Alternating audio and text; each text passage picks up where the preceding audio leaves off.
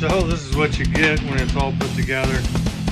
Definitely was not easy and uh, still it's not solid. You know, um, I don't know if you just, I don't know, I might have to glue it.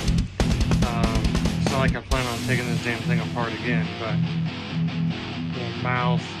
Um, and then at the very top, that's where your supreme um, letters are. I don't know. We got two of them, so uh, I might uh, put one together, glue it, and uh, put it in my uh, office.